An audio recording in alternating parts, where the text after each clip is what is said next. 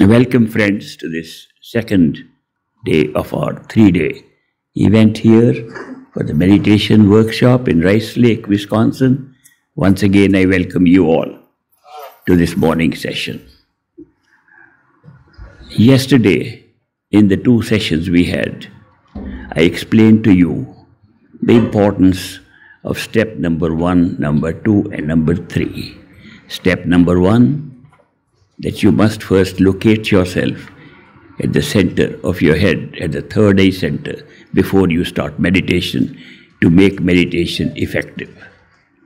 If you haven't done that, it's just a ritual then and not true meditation. Once you have established yourself there and feel that this body of yours is just around you, it's not you, it's around you, and you are on the top of this body, sitting inside, then with that form of yours, which is sitting inside, start meditation. Not with the body, but with the inner self that sits inside this body.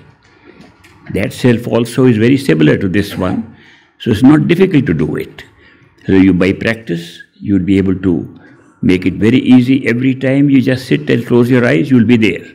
It's just a matter of practice.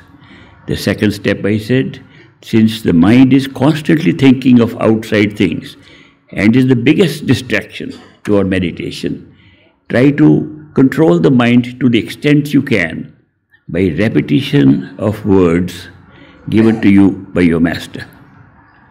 Very often, masters give words which do not have much significance outside, but they have significance inside.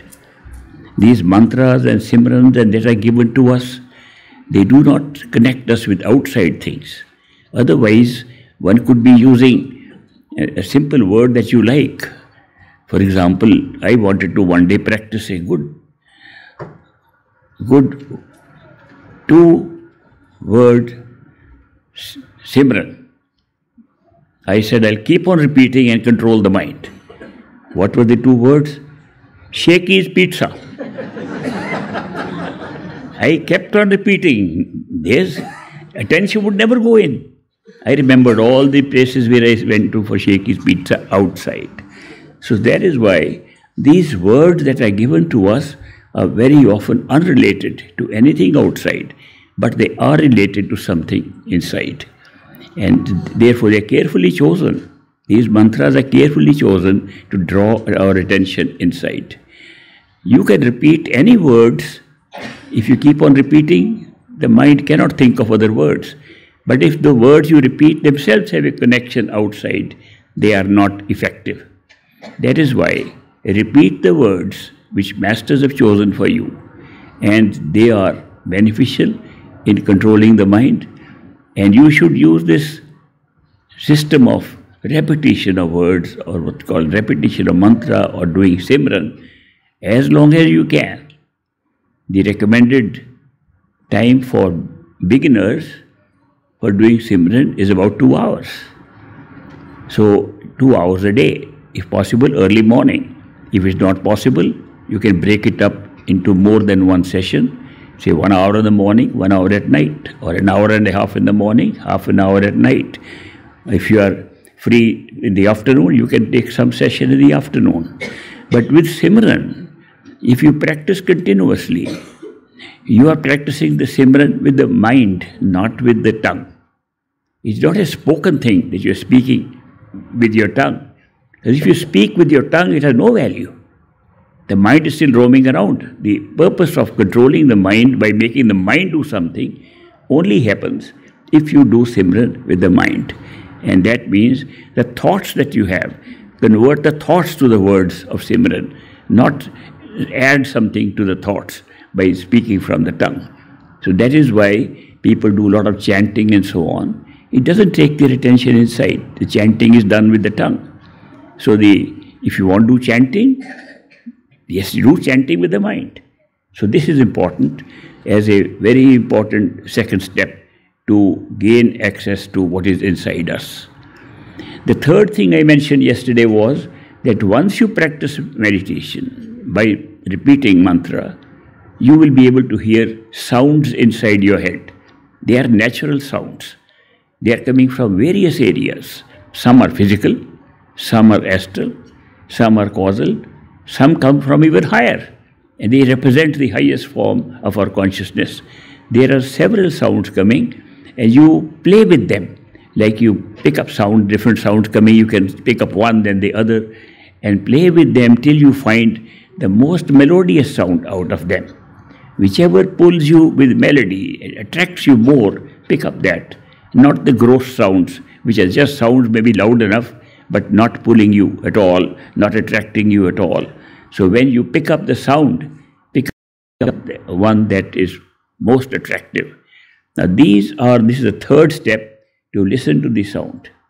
If you do meditation by Simran regularly, enough time, Simran can be done even when you are not doing meditation. It can be done while you are walking. It can be done, you are doing things where you don't need your intellectual or your intelligence to be applied to something you are doing. You can keep on doing Simran. You are doing cooking. During cooking, you can do Simran. Simran can be done at any time. If you practice Simran at all possible times that you can, it becomes a habit of the mind. Mind picks up habits very quickly if you just keep on repeating something. So you can make Simran a habit of the mind. In which case, you will find the mind repeats a Simran even when you're not doing it, when you're not even trying to do it. And that way, you can anytime pause to see what's happening. Instead of thoughts, Simran is going on in your head. And you are sleeping at night. In the middle of the night, you wake up, Simran is going on. Once great master was asked, my master was asked by a disciple, Master, how much meditation do you recommend in every 24 hours?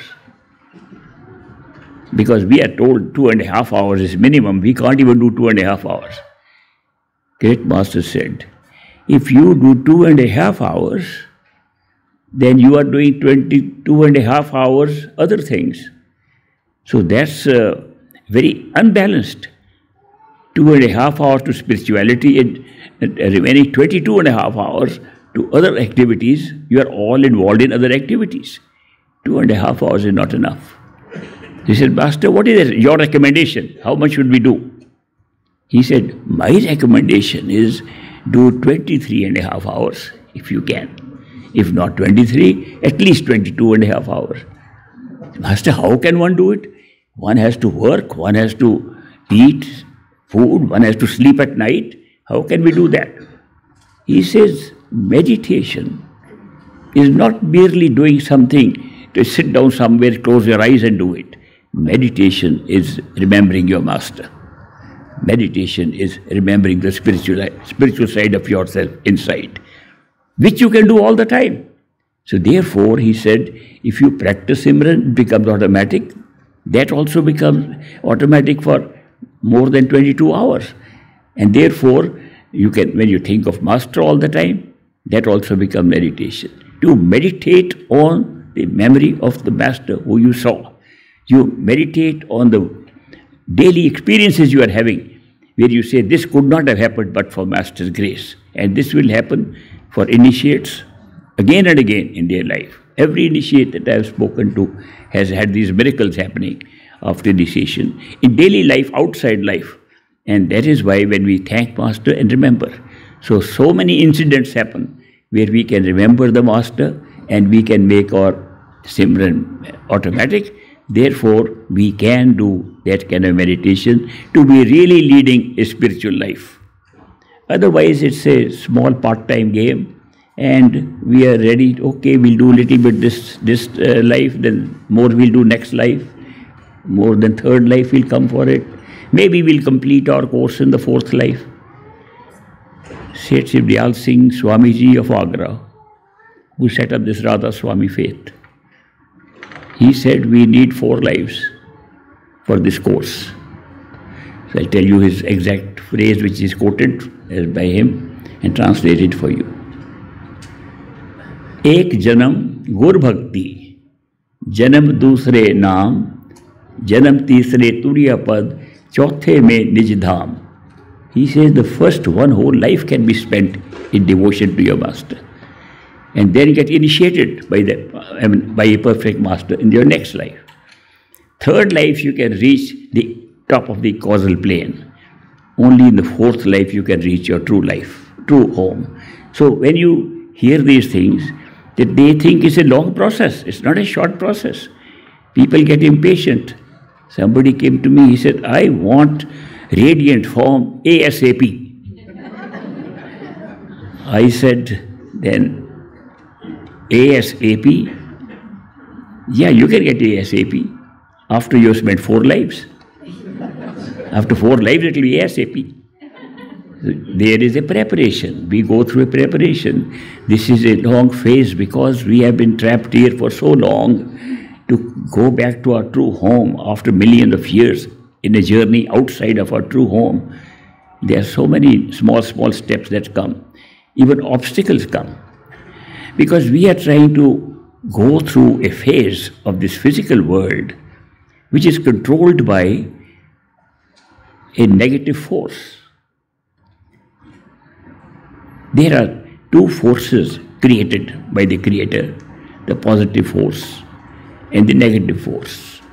The negative force pervades the physical experience, pervades the astral experience, pervades the causal experience.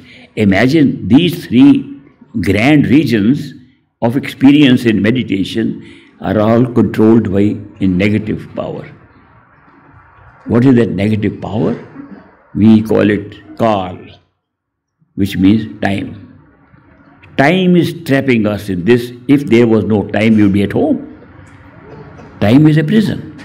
And the prison runs through these three courses. We are right now, when we say four lives, two hours, three hours, what are we talking about? Time. It's time that's creating the whole problem. Time runs everything in, the, in these three universes. And that is why time is a very big trap and we call it Kal. Some people have not understood that Kal literally means time. So they thought it was some negative devil or somebody sitting somewhere. No, there are devils sitting, but many devils are sitting in ourselves. In fact, a little devil is in each one of us. and we call it our mind. Our mind is a little devil and both soul and mind are sitting together. So the positive and negative are sitting in each one of us, and they are also sitting all around creation. So when we are passing through these negative territories run by negative entities, there is a great pressure of negativity to stop us from going home. And that is why a lot of obstacles come on the way to our true home. And these obstacles are created by the negativity around us, negative within us. Most importantly, our own mind. Our own mind is distracting us more than anything else. So that is why time is taken to go out of this system. And that time is the prison. We are trying to find a way out of time in time. So that is why it takes so long sometimes and people get impatient. You have to have patience if you want to find results. Don't give up. Don't give up. I tried so long, it didn't work. Well, it was not supposed to work that time till you learn certain lessons. So we learn many lessons during our spiritual growth, and those lessons include the fact that you can have the experiences of up and down in meditation, just like you have experience of up and down in life. This physical world in which we are coming as human being is a world of up and down. It's a world of high and low. We all go through it. We all have good times and bad times. I have never met a person anywhere in my life who had only good time all his life, nor anyone who never had a bad time. Therefore, it's a combination of the two. Why is that? Because the setup here is that there are nice places in this creation we call heavens. If you are doing all good things and your karma is very high, you'll go to heaven and spend a lot of time there. If you do all bad things, another place is called hell. You go to hell and spend time there. Both these exist in the astral plane. A very large number of heavens and large number of hells is not one only. There are lots of them. Now you can actually experience them in meditation. I go and see them, visit them, but don't stay there too long. Not yet visible. I remember we had a disciple of Great Master. One of the three ladies we used to call Bibis. Those three ladies used to attend on the Great Master's daily needs, and one was tall, stout, strong. She controlled everything by her personality. So the other two were subservient to her. She controlled Great Master's house, Great Master's wardrobe, Great Master's daily living, and she stayed there in, with Great Master. Right to the end. Till Great Master's end of his life, she was there. The second one was tall but lean, and she was the next in command and she used to help. And she, because she could not get that close to Great Master, she was entrusted with the kitchen of the great master and made food for him. She was very happy to do the seva of cooking food for the great master. But when she would bring what they call thali or a platter of food to the great master's place, the tall lady would be waiting there. Your territory ends here, now I take it in. I remember these things about uh, uh, the local drama within the Dera, great master. There was a third one who was short and not so assertive like these two, and she was doing meditation more than the others, but she had a higher accent, ascent into the higher planes, but she could not find either place in Great Master's house nor find a place in the kitchen. So she was made in charge of running the general kitchen for the people, which they called the langar. So she would work in the langar, making chapatis, bread by hand. They used to make it by hand, and but she did so much meditation. Her house was little little hut was given to her. I and my family also had a little house next to her hut.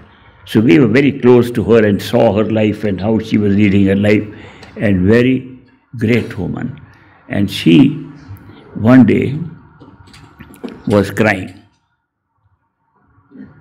loudly in her little room. We came out and we tried to open the door, it wouldn't open. Other people were called in.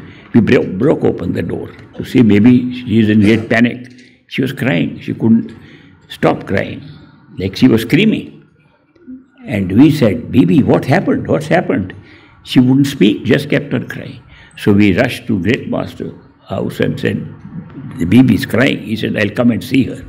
So he came and she was crying. And he said, she wouldn't listen to anybody else. But when Great Master spoke, Bibi, what's wrong with you? She said, I am in hell. He said, How did you go to hell? He said, out of curiosity. In my meditation, I said, let me go and see hell. And Master, I did it on my own. I did not even ask you for it. Please forgive me. He said, Is anybody hurting you? What are you saying? And she described the torture that was going on to people who were in hell, which was making her cry. And Great Master said, Is anybody hurting you? She said, No. He said, Why are you crying? He said, I am crying because I can't afford to see, I can't even see the suffering of the other people here in hell. So Great Master said, Listen to my voice and come out. So she came out and put her head on Great Master's feet and begged pardon for this journey. Then Great Master addressed us who were sitting around. He said, Sometimes curiosity can really be dangerous in meditation. First of all, when you reach inside, try to go towards the manifested form of the master before you make any trips to the astral region or the regions. Master is waiting inside for you. Go with the master. Then say, Master, you show me whatever you want. See whatever you like inside with the master, not on your own. I, I am pointing out that there are heavens and hells in the astral plane, don't go alone to visit them, especially the hells. Good people who done excellent good, they'll go to heaven and enjoy their time and then come back when the time is over. Evil people will go to hell and, and spend time there. How do we come to a physical form in the planet Earth here? With a combination of karma, good and bad. That is how physical life is created with a combination of karma which is high and low, good and bad, and that is why we all have good times and bad times. We are here. One has to accept these. If you don't want to accept ups and downs, then you won't be here. So that is why it's just a natural thing that you are here. An American disciple of great master, you might have heard his name, Dr. Julian Johnson. Julian Johnson, when he first came to the great master, he was very impressed with the great master's powers and his great mercy and compassion for everybody. So he would bring up cases of his friends in the United States. Master, in Kentucky, I have a friend, his wife is suffering so much, can you help? Great master would say, Yes, I will pray to Babaji, Baba Jaimal Singh, his master, to help your friend. So he would ask for these kind of interventions over and over again. Then one, after he had stayed in the Dera for some time, because I could speak English. I used to go to an English speaking school, so he used to take me along for walks. We used to go to the river for walks almost every day when I was in the Dera. And one day he tells me on the way, What a mistake I have been making trying to get intervention of Great Master in the karma of people. I should have realized the ups and downs of karma are the platter given to us as a gift. That is what is giving us human life, and human life is necessary for us to be able to go to a true home. And he said, Never again am I going to ask for any intervention. It's a good thing that we have high and low, good and bad. So, this is something very significant on the spiritual path to understand. We are human beings because of this combination of our karmic pattern. And that is why I am always saying, don't worry, be brave, go through the uh, low karma with as much cheerfulness as you can. What masters do is, if they find that the karma is unbearable or difficult, they will intervene to make it light. They will make it as a big thing, they can make into a small thing. But the events still take place. The events take place and you you go through it, you knew you know at that time how bad it could be, but for what great master's intervention that you could uh, pass through it so easily. So that is why great masters do help. Perfect living masters help, but they help us to cope up with situations. So one should not feel that we are getting no help because we are going through some low period or we are going through some sad events or something. They happen. They happen as part of our life, everybody's life. So keeping this in mind, remember these events will come and go. Your meditation should not be affected by these. You should not say, I stopped meditation because Master did not help me in this situation. He is helping. He is helping for you to cope up more easily, to bear these things more easily. And that is why it is said that to live in His will is to surrender to His will. They talk a lot of surrender. They, what is surrender? Surrender is when you say, Master, I will accept what is your will, and I am living according to your will now. After that, you can't then make a judgment on what's happening because you left to, to his will. Then live your life the best you can with all the strength you can have. Great Master used to say, you have to be a warrior to be on this path because you have to fight negativity, you have to fight difficult circumstances. Therefore, you have to be very brave to be on the spiritual path. It's not a path for cowards, he used to say, it's a path for brave people. So, I'm mentioning these things to make it clear that do not worry so much about the ups and downs of life. Meditation can continue at all times. Sometimes we notice that people meditate more when they are in, in bad times. Good time they forget. No, no, meditation in good times also as much as in bad times. Keep meditation a regular part of your life. Make a life spiritual life. And then meditation works. So these three things which I mentioned yesterday, at the level of the wakeful human being, they are accomplished one after the other. Seating yourself at third eye center, then when you are comfortable and sure you are seating there, because if you are not seated comfortably there, you slip out very often into the body awareness that you are sitting on a chair. You say, I'm sitting here, and if you are not careful, not established daily on that, you suddenly feel you're still sitting on the chair. This ability to be able to pull your attention up to the head has to be like you lifted yourself up to the head and you are now there and not on the chair. The body is in the chair, you are lifted up. I had a lot of problem after initiation to do this. And I was doing meditation like most of my friends, just sitting on the body and then closing my eyes and repeating words. Nothing would happen. For years, nothing happened. So I said, There's something wrong. Then, Great Master emphasized this point that you have to first sit there before you start meditation. So I said, Master, very difficult. I have tried. I keep on sitting where I'm sitting, on the floor. I, I can't find the floor here. He said, Come, I'll help you. So he said, Raise your finger like this. Raise it and take it up. I took it up.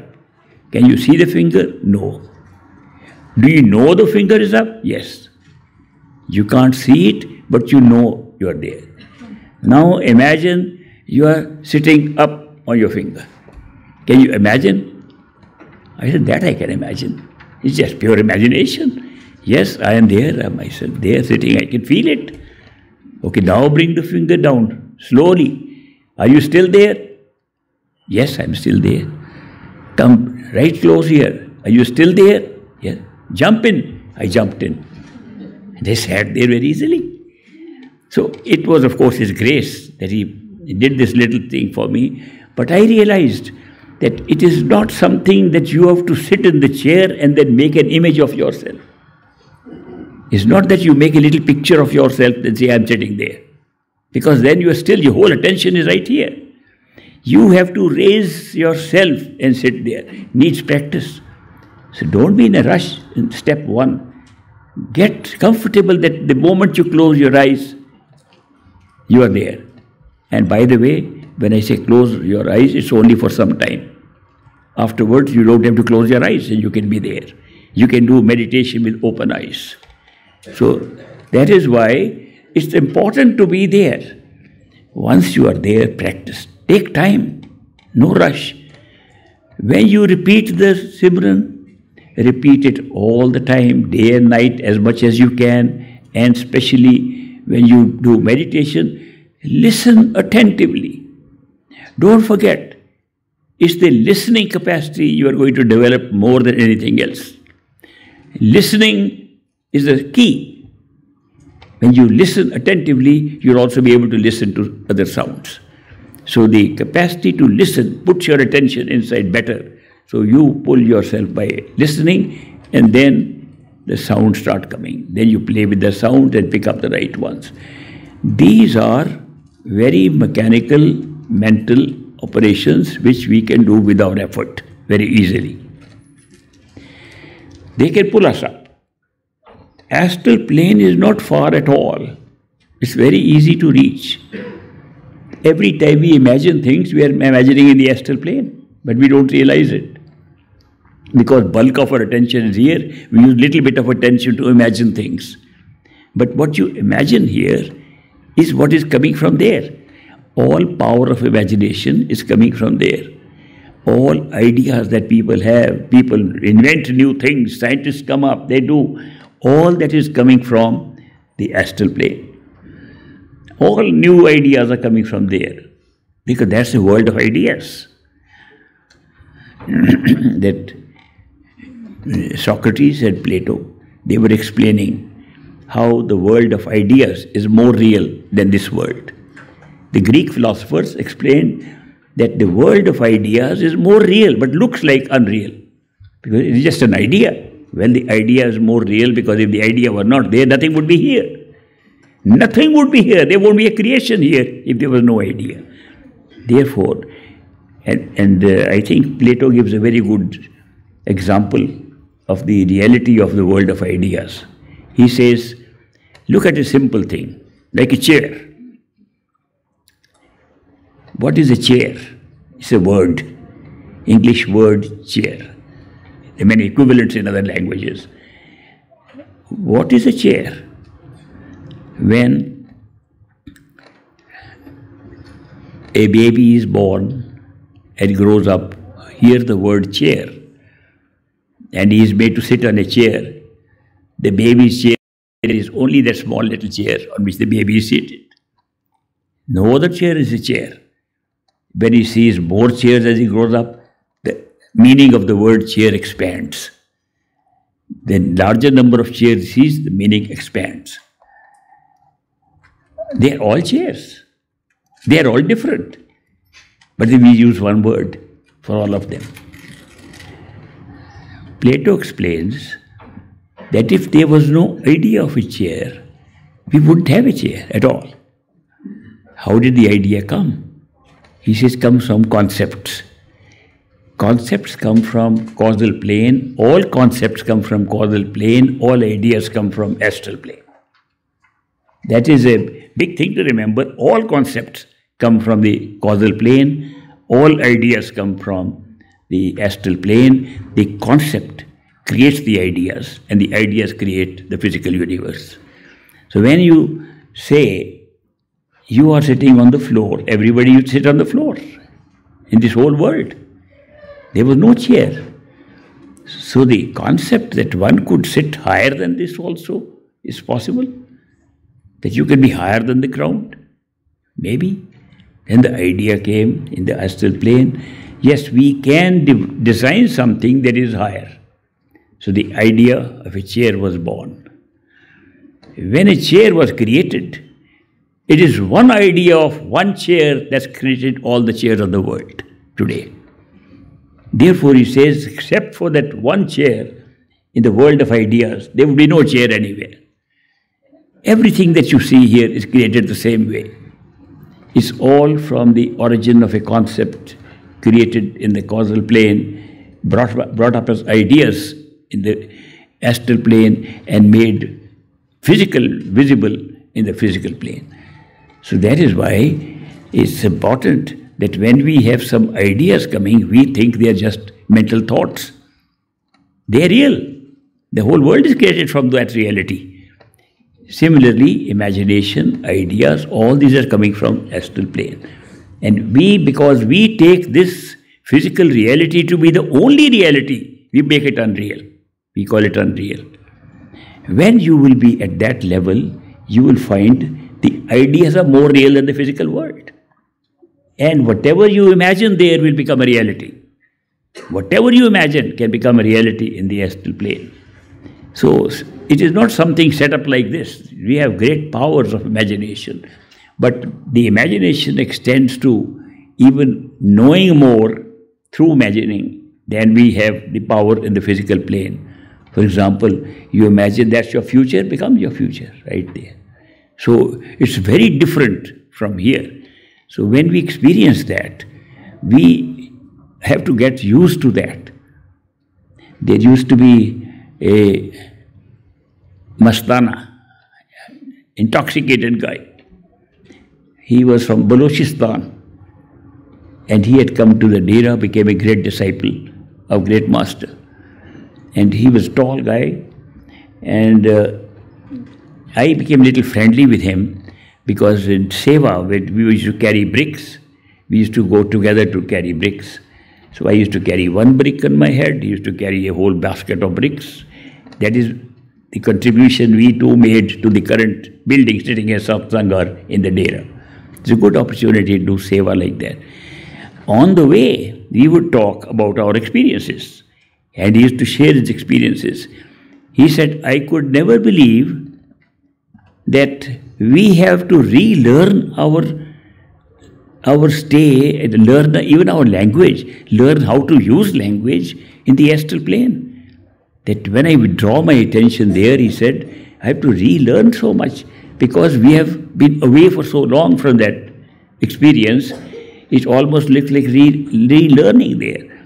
So these are experiences that you should go into slowly and enjoy, relax. There is no rush. When you have waited millions of years, what's the rush in getting in a couple of lifetimes even? Of course, I always like you to go in the same lifetime in which you get initiated. That's the best. But if you have to wait a little bit, we waited very long for this. Have patience. Don't be in a hurry. Now, these practices, the pull of the sound can take you to the causal plane. Meditation, by closing your inner eyes of the astral self, can open up the causal plane. How will you recognize it? If you are not being guided by a perfect living master right from the beginning, don't try to jump ahead of him. Go with the master everywhere. If you do meditation and you are on your own, you will recognize by the simple turn change in the sound. The most important change will be in the atmosphere, the, the color of the sky. We have a physical sky here. Space is created with skies. When we say we have space here, space and time is sky. That's we can see there's a lot of space sitting inside a room, we don't know how big it is. When we go out in the open, you see the whole sky. That we say is a big space. The sky in the physical plane is colored and lighted by the sun. And the earth, when it moves, we get darkness and light. We get darkness at night, light in the day. This is a dual kind of uh, lighting of a sky. It's not always lit up. It's lit up half the time and dark half the time. This is the nature of the physical universe, that the duality is being expressed, even looking at what is natural thing like a sky. It's dark, now it's lighted. So this duality ends in the astral plane. This particular duality of the sky ends. And there it is always like a twilight time like we have late afternoon when it's light but not too, too strong. That is the color of the sky 24 7 all the time in the astral plane. So there is no darkness as such in the astral plane. But there is not very bright and dark, not that, that great variation also. So you will know because everything that will happen in the astral plane will be in that sky, in that atmosphere. When you go to the causal plane, the sky becomes very bright. Very bright. Brighter than you've seen here. But the color will be, color of the sky will be like an orange color, like a golden color. If you have seen a setting sun, when the sun is just setting, when you can see it clearly, otherwise when it's too hot, when you can't see, when setting half set, look at the color of the setting sun if the, that setting sun is stretched all over the sky, that's the causal sky. And sometimes in the middle of your meditation sessions now, I got more reports about many of you having wonderful experiences in yesterday's sessions. You may have glimpses of that sky, and that's just a glimpse of the causal plane. The sky changes, and, the, and you can't describe the the sky after that because it's totally different, indescribable, because it is not in space at all. The sky, the, after that, the way we are as souls living is totally different. And I have no words to describe. If I could, I'll make a story. I just tell stories. People have told stories earlier also. Even mystics have told stories about that.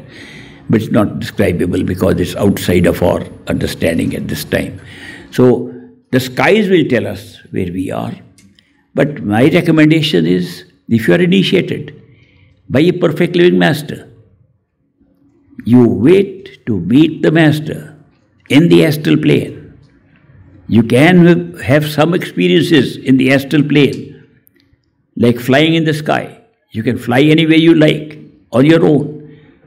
You can see distant places.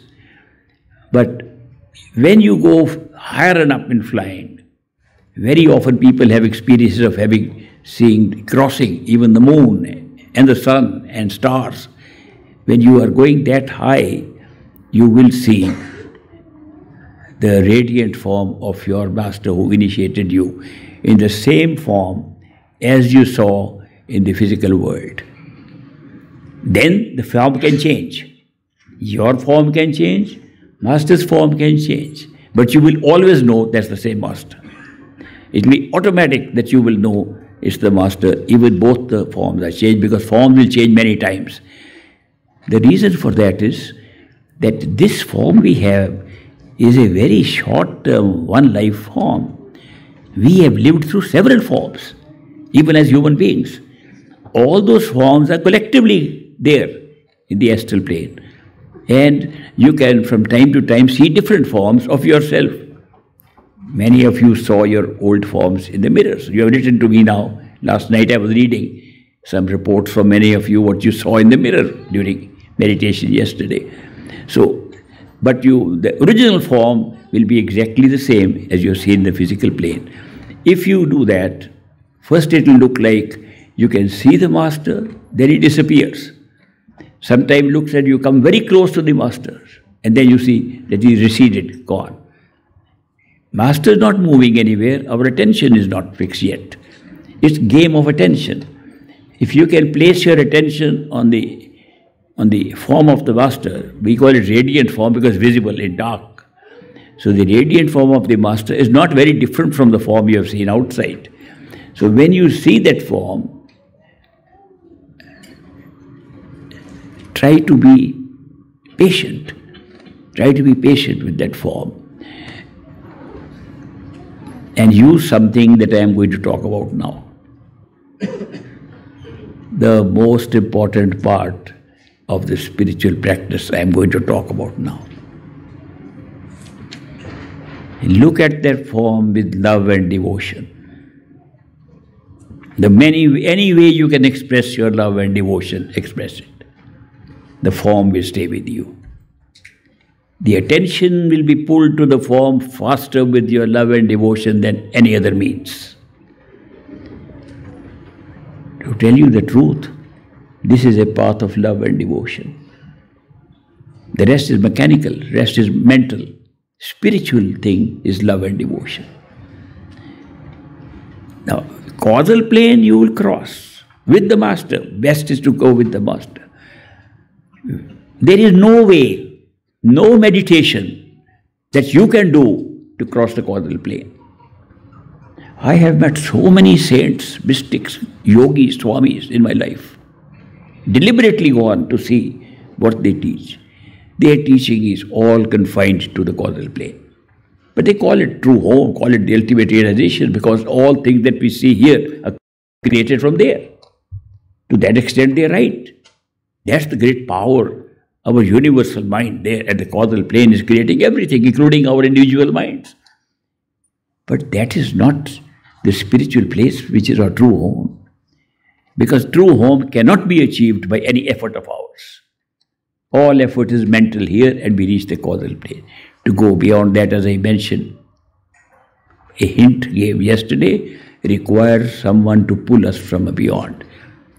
The path of love and devotion alone takes us beyond the mind. Neither Simran will take us, nor astral Dhyan will take us nor anything that we are doing here is only confined to these three worlds. To go beyond, Master pulls us. He starts pulling us even when we are here. We can't see it. He wants us to complete our journey in this very life. He doesn't want to postpone. We are distracted. Too many attachments, too many desires of things outside. Therefore, we delay our own journey. Masters, masters are keen that you go beyond the mind as fast as you can. Then you can take rest. Once you have discovered who you are, then you can relax. We do not discover ourselves as a soul till we have crossed the mind. And to cross the mind, only love and devotion counts, nothing else.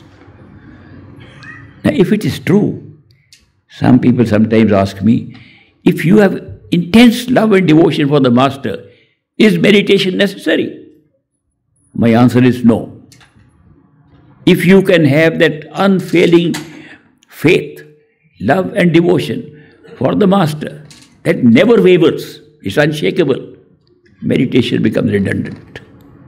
Because that is what will take you there. Meditation is just a means, a small means. Great Master even said meditation is not capable of taking us anywhere. He said meditation, Great Master's words, is like a thermometer.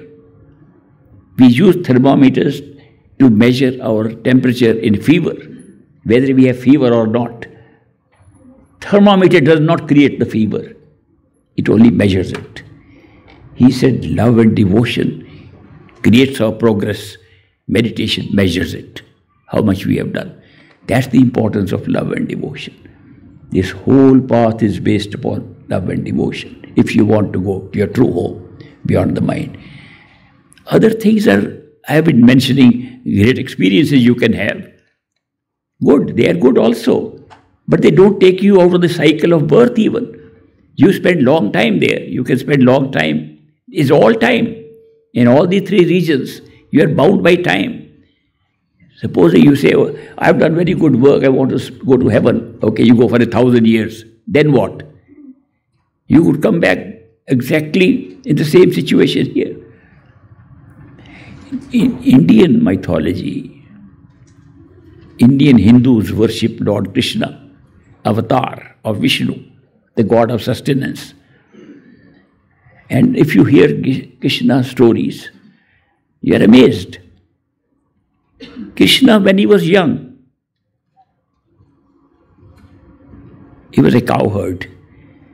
He used to take the village cows out to graze. Ordinary life.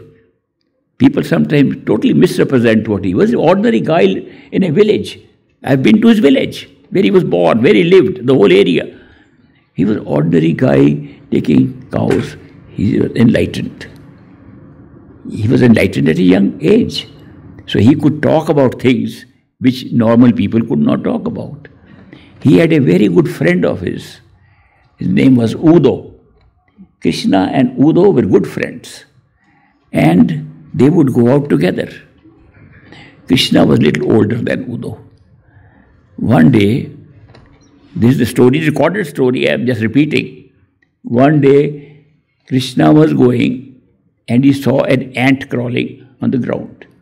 And he looked at the ant, little ant, and he told Udo, Udo, we cannot understand the nature of karma, what karma can do. He says, Look at this ant. This ant was once Brahma, the creator of this universe from the causal plane. He created the universe and he was Brahma because of his good karma of the past, became Brahma. When the time was up, today is an ant by previous karma before that. It's endless a creator from the causal plane who the whole world worships now became an ant? How is it possible? Well, that's how the karma works. It is relentless. There is no atonement in karma. People think we can get atonement, that we can wipe out karma by some means. Karma is never wiped out.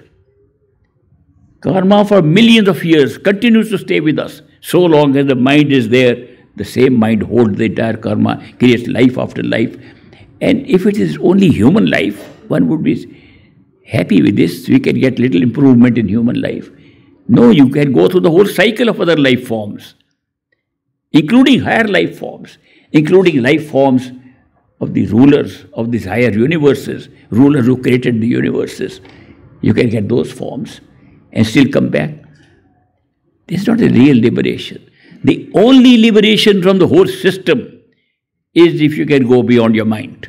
beyond the universal mind and discover the soul is not subject to any of this. Soul is not subject to any of this stuff. We just provide. Soul provides life to the mind, provides life to the astral self, provides life to the physical body, makes all of them alive so that they can experience. Soul makes all things into awareness and consciousness.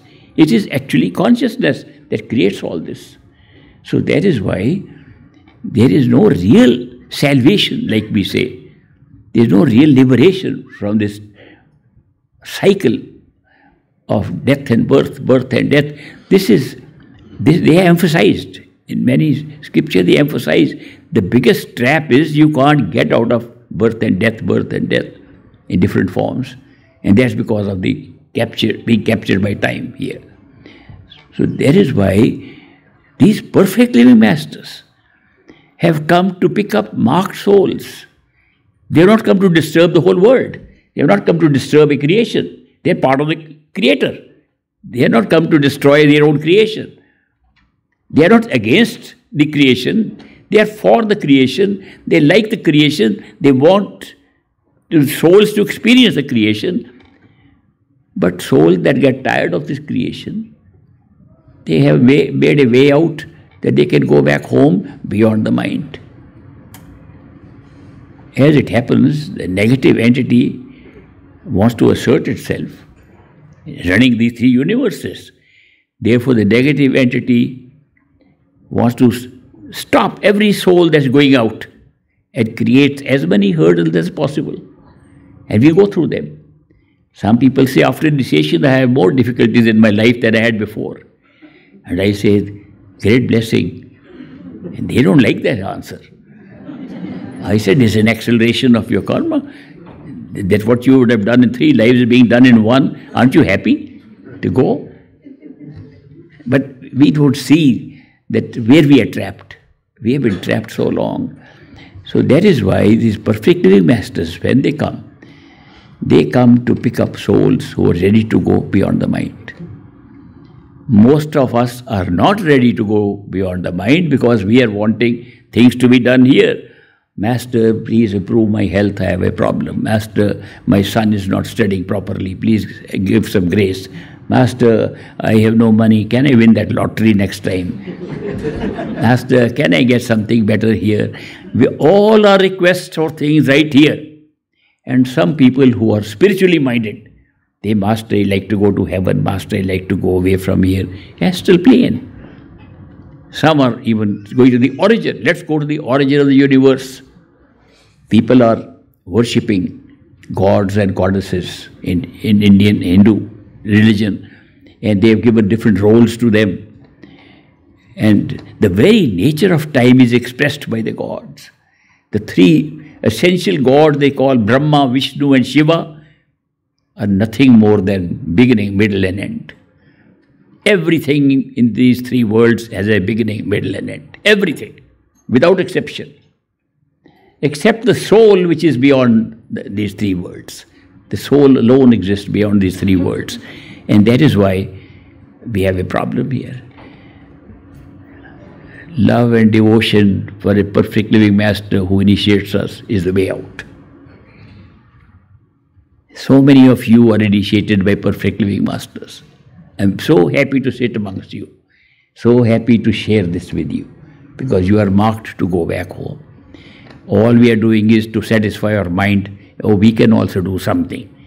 Okay, you do little bit, so little, tiny, and the rest is done by Master. We have very little power. We don't even know how to express love and devotion. We try to learn simple things like that. How can one be devoted? When we use two words, love and devotion, obviously there is two things happening. Yes, love pulls us and we become devoted automatically. That's why the two words are used. Devotion is a response to love. We have very mixed feelings about love. But the love of a perfectly master is so pure, great, unconditional. When that pulls, we become devotees with devotion. That is why love and devotion go together. If we can express our love in any way we can, just as a response to our devotion, it's good enough for us. If we can start our meditation from the very first step, the three steps I mentioned, if we can start these three steps from the very first step with love and devotion, what a big head start it is. That is why I now recommend to you that meditation to be really successful to take us beyond the mind should start with love and devotion. Therefore, I gave a very small, simple experiment yesterday to imagine that your masters come inside sitting in front of you. Many of you liked it. Today, let us have an experience that your whole experience of gathering yourself at the head is in the company of your master. When you fly, fly with the master. Use imagination at the time being till you find that you can really fly the master. When you do that, you will find that your love and devotion will grow automatically in the company of the master. So if you are all ready, close your eyes.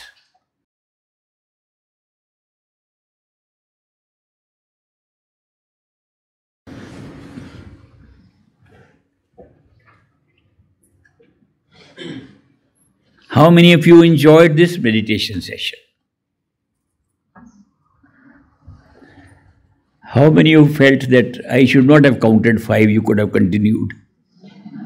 Very, very good meditation should be enjoyed, not made into a chore. Oh, I can't sit that long. If you meditate love and devotion and manifest the Master, you will always enjoy it. You will like to meditate more, not less. You will be in a state of meditation automatically. That's how it should be done. Love and devotion for the Master, essential part of meditation all the time, from beginning to the end. It's very interesting that when we are trying to meditate with our own effort, it's very difficult to stay in. Distractions are very strong. When we are meditating with love and devotion for the Master, you will notice the distractions are much less. Just the thought in our head of meditating with love and devotion changes the meditation. It makes it easier than when we struggle with it. Don't make meditation a struggle. Meditation is a great visitation with your master and in a different area, in exploring different areas. How many of you could fly with the master? Very good. Wasn't it a great flight? I have always enjoyed my flights with the Master. I think it's a great experience. It's amazing how much experience we can have. Now we meditate with these five words which have been given by some masters, the mantra. I said the mechanical use of those words is to replace the words of thought. That's just the mechanical part. But there's a bigger part. That when we are initiated by a perfect living master, whatever words he gives us to repeat, he empowers them. He puts his power into those words. And what is empowerment? Empowerment means if you are repeating those words mentally or even with your tongue, negativity will keep away from you. That's a big thing. We are living in a world surrounded by negativity, and here we can repeat words and keep negativity away. So that is why use these words also when you encounter a negative situation and it'll disappear. Some people say that we are attacked by negative entities, use words, negative entities run away from these words given by a perfect living master. That's another very big use. When you are flying with a master, if sometime a negative entity want to appear as your master, if you are using those words, it will be your master and not a negative entity. There's a big safeguard. So many people ask me, how am I sure what I'm seeing is real or it's just made up by mind? Repeat the words. If while you are repeating the words, what you are seeing, including the master, is real, it is the master. So it's a big safeguard given by empowerment of the words. Master gives us a big way to be safe about it. So that is why now, supposing we were to do only meditation with love and devotion, it'll be enough. With faith. Now, faith is also important. What is faith? Where does faith come from? Does faith come from experience? Some people tell me, if I see something, I'll have faith. That's not called faith. That's called seeing. That's called experience. Faith is to faith, have faith in something that we haven't seen. When we have faith in something we haven't seen with our eyes, that's faith. Then it can be completely a blind faith. We are believing somebody telling us something and we have blind faith. Is there a difference between blind faith and faith that is not blind, which I call living faith? Yes, there's a difference. Faith comes from partial experience. Like if I were to walk five steps and I am told there's a sixth, seventh step, because I walked five, I can have faith there'll be fifth and sixth. It's part experience, and the experience generating faith in what I've experienced can extend further. This is living faith. As you grow in faith, the faith grows with you, or like all living things. Blind faith never grows. Somebody has said God is sitting there, we believe it, it's blind faith. If we experience something every day more and more, it's living faith. So that is why to get living faith, unshakable faith, we base it on experience, not of the faith, but what is prior to the faith, which leads to the next step. Then we have more faith. Then leads to the next step, more faith. It is much better to have a living faith based on partial experience, which leads to more experience, and not that we have blindly following somebody what he says. In this path, Great Master said there is no scope for blind faith. In your spiritual life, no scope for blind faith is not a religion. Most religions are based on blind faith. This the scripture says, the book says, so and so says, believe it. Period. Does your own life correspond with that? No. There is blind faith. If you are having experiences in life that lead to that belief, then that is living faith. So always believe what you see. What you hear from anybody, including me, what you're hearing. Don't believe it. Have faith in what your experience is. If you have partial experience, yes, the rest can also come. So go step by step what you have actually experienced. Of course, if you already had experience, that's not faith. So the experience, faith is just beyond the experience you've just had. And that's how it grows. The old story of two little children who went to the beach because on the beach there was a ice cream ice cream vendor used to bring good ice cream. So this is a story they tell in India that Indian rupees the the ice cream cost five rupees. So two young boys, one of them had five rupees in his pocket, and he took his friends for ice cream that we'd share the ice cream. On the way to the ice cream vendor, they see a holy man sitting on the sand, making sand homes, sand houses, beautiful sand houses, very impressive. So the boy with the five rupees in his pocket, he was so tempted to see those. He said, I like to buy one of the sand houses.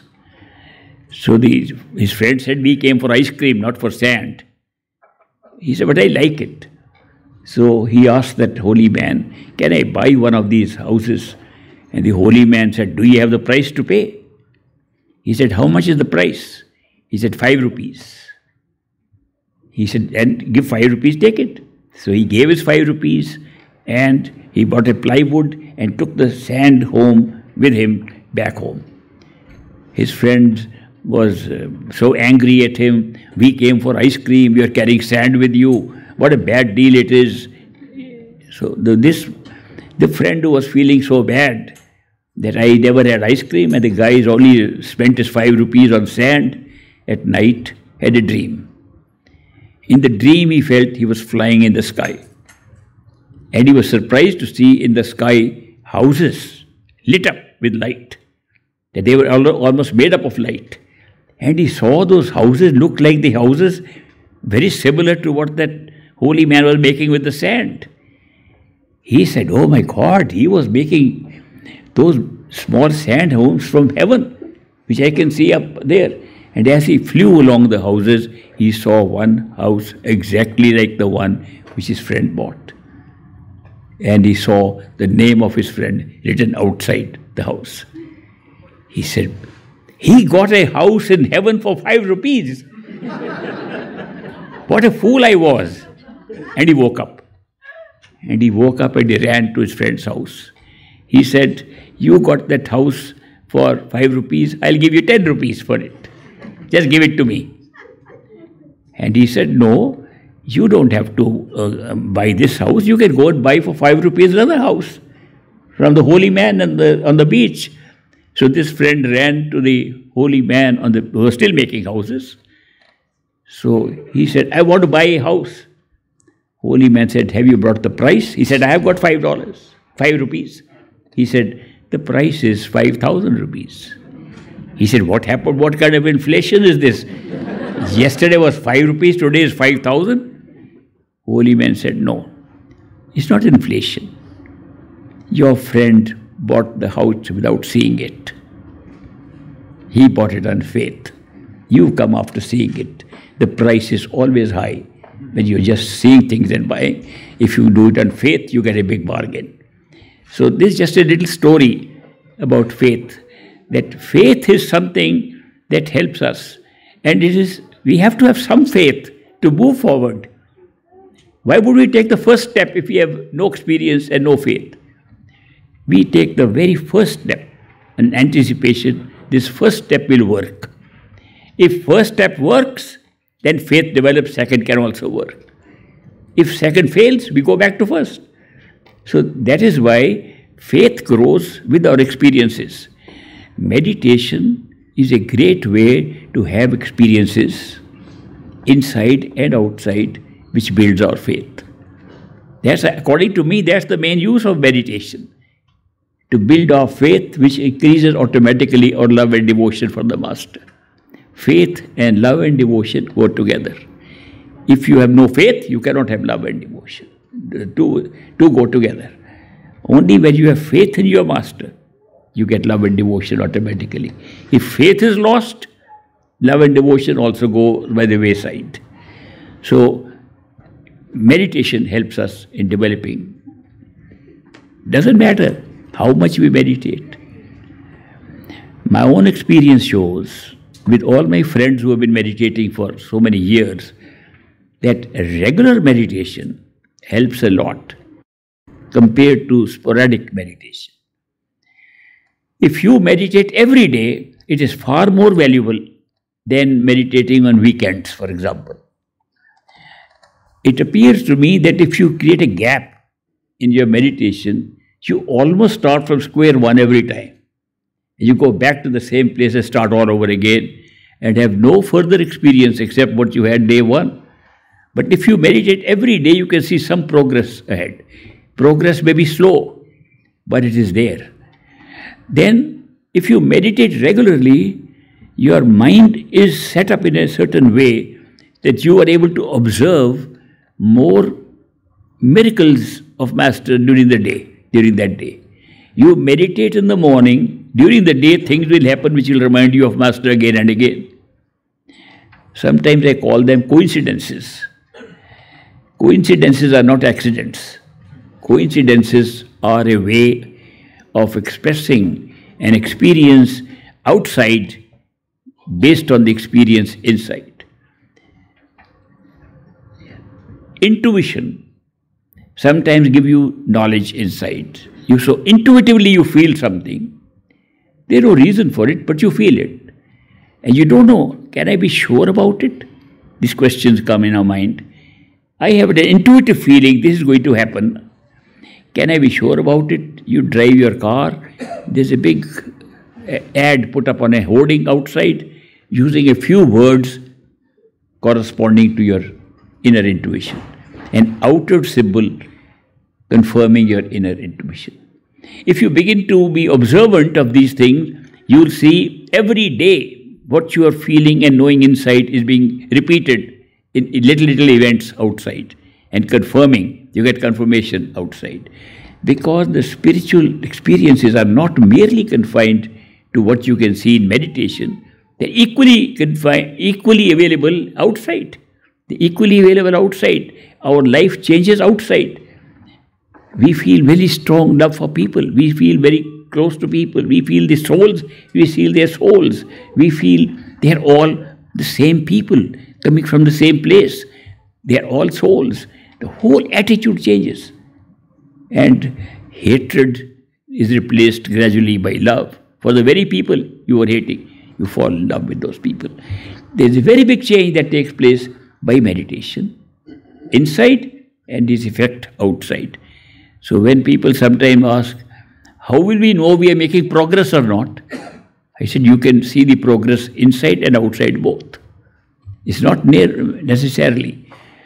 If you meditate regularly, you will notice some things.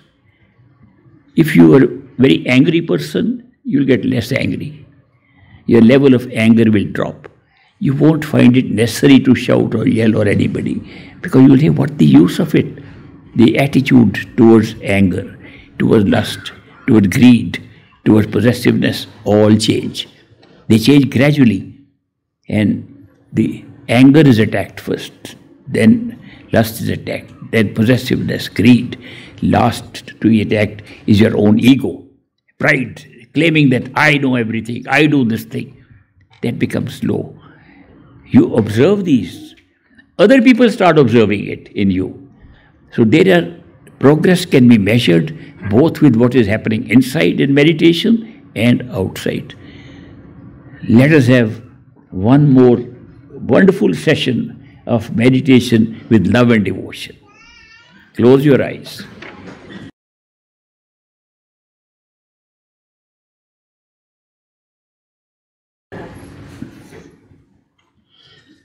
How many of you enjoyed this session of meditation? Very good, very good. See, meditation is being becoming more enjoyable, that's a good sign. You should always enjoy your meditation. Always pull for, I want to meditate. I wish I get little more time. It, the more you enjoy meditation, the more the pull for more meditation will increase. It's, uh, it's not something to be considered a chore or I have to do two and a half hours. I promised to do two and a half hours. I can't do it, I'm feeling so guilty. Not that way. As I said, if you do regular meditation, even short periods, you have, while life is busy, we have obligation, karmic obligations in this life. You start with five minutes in the morning, five minutes at night, and then extend the time if you can. It's good enough if it is regular every day it is better to do five minutes a day than two and a half hours every weekend. That's my experience. Keep the momentum, continuity of it all the time. So start the morning with your master, five minutes. End the day with the master before sleeping. Master will be with you 24 7. It's that simple. So, Master is going to take you to, to your true home not your mind, not your thoughts, not your effort. Remember this. It's Master's grace that plays. What is the role of effort and grace? I can tell you. In the beginning, 100% effort. At the end, 100% grace, zero effort. And how does this take place? you gradually see that your effort is not useful. Your effort is futile. It's not even working the way you thought it will. Then grace is coming because experiences are coming. Ultimately, when you discover 100% grace, then you look back. Even the effort was part of the grace. You would not even make the effort if the grace was not there. The whole game of meditation, going to a true home, is a game of grace of a perfect living master who has come to take us home. He is come to take us home no matter what.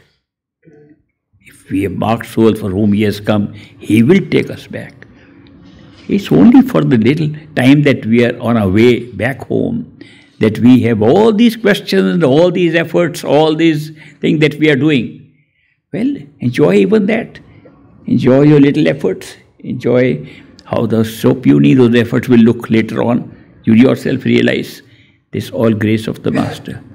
If you want to pray for something, prayer is for asking for something. Pray for more grace.